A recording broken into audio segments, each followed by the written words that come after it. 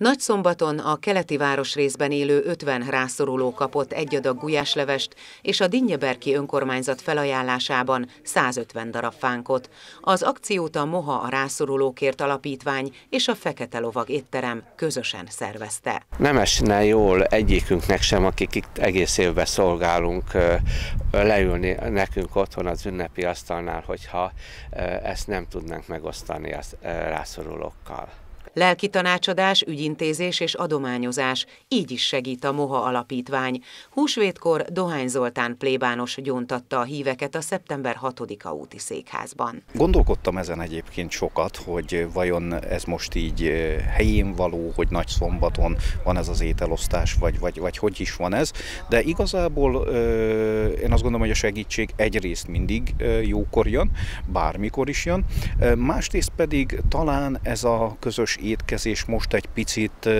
az ünnepnek és az ünneplésnek a hangsúlyos voltát is kiemeli, kihangsúlyozza, és ha valóban ez történik, akkor ez jó.